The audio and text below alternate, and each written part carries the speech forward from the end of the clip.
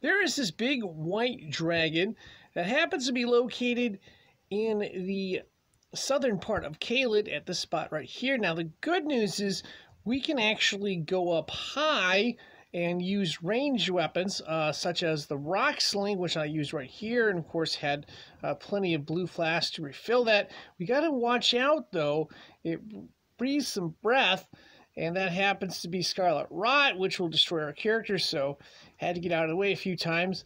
Uh, another way is to load up on arrows and fire those as well. A tough fight, but definitely worth it because there is that dragon heart that it will drop and if we can hang around long enough, we will get it.